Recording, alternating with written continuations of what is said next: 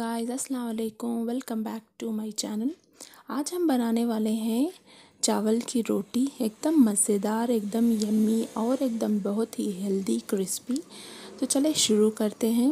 एकदम बहुत ही यम्मी बनने वाली है और जैसे कि मैंने बोला, बहुत ही हेल्दी भी बनने वाली है।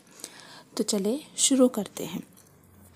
सबसे पहले अगर आपने हमारा चैनल सब्सक्राइब नहीं किया है या आप हमारे चैनल पर नए हैं तो चैनल सब्सक्राइब कर लें। सब्सक्राइब करने के बाद राइट साइड में जो बेल आइकन दिख रहा है, इसे ज़रूर से प्रेस करके ऑल ऑप्शन सेलेक्ट कर लें, ताकि हमारी वीडियोस नोटिफिकेशंस आपको सबसे पहले मिले। तो चलिए चलते हैं इंग्रेडिएंट्स की ओर। ये देखें मैंने ले लिया है चावल का आटा, और हम इसमें अब one by one ingredients add करते जाएँगे। तो फ़र्स्ट मैं इसमें एक्चुअली डाल रही हूँ सारे वेजिटेबल्स जैसे मैंने यहाँ पे डाल लिया है ऑनियंस एकदम बारीक कटे हुए ऑनियंस एंड ये देखिए, हम डाल रहे हैं यहाँ पे कैरेट्स ये भी एकदम बारीक कटे हुए। अब नेक्स्ट हम इसमें डाल लेते हैं कोरिएंडर लीव्स एंड नेक्स्ट मैं इसमें अभी डाल लेती हूँ करी लीव्स एंड अब मैं इसमें ऐड कर लूँगी, देखिए चिली ग्रीन चिली अब हम इसे क्या करेंगे? थोड़ा सा ज़ीरा डाल लेंगे इसमें एंड थोड़ा सा अब हम इसमें ऐड कर लेते हैं नमक।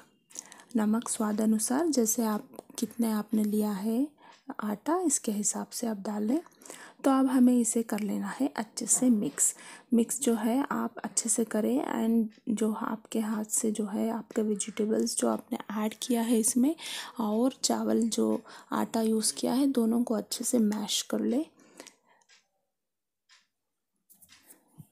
तो ये देखिए मिक्सिंग हमने कर ली।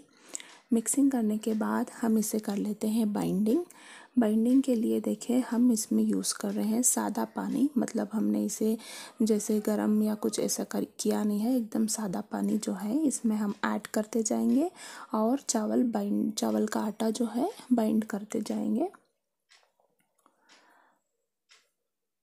तो ये देखिए, ऐसे करके, जैसे स्टार्टिंग में जब आप पानी डालोगे तो आप ऐसे करके थोड़ा हाथ में जो है वेजिटेबल्स और आटा जो है, अच्छे से मिक्सअप कर लें। एंड इसके बाद आप आटा डाल के गूंदना स्टार्ट कर लीजिए। आपको इतनी हद तक करना है, जैसे आप हमारे रोटी अब हम जैसे आटा गूंदते हैं, बस उतनी हद तक। एकदम बहुत ही सख्त भी नहीं बनाना है और बहुत ही रन्नी भी नहीं बनाना है। तो एकदम रेडी होने के बाद मैं आपको बताती हूँ कंसिस्टेंसी एकदम जो हम रोटी या चपाती बनाने का जो हद तक डो बनाते हैं, उसी हद तक बनाना है। तो देखिए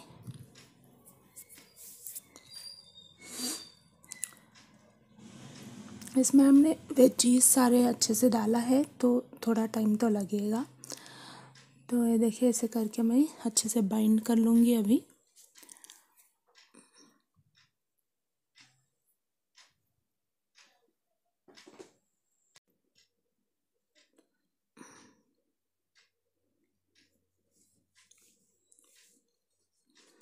तो ये देखिए फ्रेंड्स, हमारी जो बाइंडिंग है अभी स्टार्ट होने लगी है, जैसे आप देख रहे हैं, देखिए, आप जो है इस हद तक अच्छे से बाइंड करें ताकि ये जो नीचे वाला पाउडर है सब कुछ अच्छे से मिक्स हो जाए। देखिए, एकदम से जैसे चपाती का डो मैंने बोला था, ऐसे बना लेना है। बना के इसको अब हम साइड में रख लेते हैं थोड़ी देर के लिए। इन द मेन वाइल ये देखिए मैंने एक कवर ले लिया है। कवर आपको जो है हैंडल्स जो सामने आते हैं ना हैंड कवर के उसको कट कर लेना है बस और आजू बाजू से कट कर लेंगे तो ऐसा हो जाएगा। इसके ऊपर अब हम डाल लेते हैं ऑयल एक्चुअली आप कवर भी यूज़ कर सकते हो या जो माउस का पत्ता आता है आप वो भी यूज़ कर सकते हो। डिपेंडिंग ऑन द अवेलेबिलिटी आपके घर में जो भी अवेलेबल है। तो ये देखिए मैंने चावल का जो डो बनाया था तो मैंने ऐसा छोटा सा एक पेड़ा ले लिया है और हमें बस जो है ऑयल हाथ में थोड़ा सा ऑयल लगाते हुए, नीचे भी ऑयल लगाते हुए ऐसा प्रेस करते जाना है बस हाथ से तो जो है हमारी चावल की रोटी बन जाती है। मतलब शेप में जो है आ जाती है। बेलन का यूज़ नहीं करना है बिकॉज़ इसमें हमने वेजीज डाले हैं तो क्या होता है ना, वो टूट जाती है रोटी। देखिए ऐसे ऑयल यूज़ करें ऊपर से प्रेस करने के लिए और ऐसे करके आप इसे गोल शेप दे दें। तो आप बेलन का यूज़ ना करें, ऐसे जो है, आप इसे इसे हाथ से थपक ले या प्रेस कर ले। तो ये देखिए, हो गया। ऑन द अदर साइड हम तवा गरम के लिए रख लेते हैं। एकदम लो फ्लेम में तवा गरम के लिए रख लें, जब तक कि आप यहाँ पे जो है रोटी प्रेस कर रहे हैं। इसके बाद जो है हम नेक्स्ट प्रोसेस बताएँगे। तो देखें, एकदम से गोल गोल हमारा चावल की रोटी जो है बन गई है। अब देखिए, तवा जो है मैंने लो फ्लेम में गर्म के लिए रख लिया है। जैसे कि हम यहाँ पे कवर यूज़ कर रहे हैं तो हमें दे है ऐसे डाल के बस दो सेकेंड के लिए इसे छोड़ना है जैसे आपका तवा जो है थोड़ा सा गर्म होके रहेगा।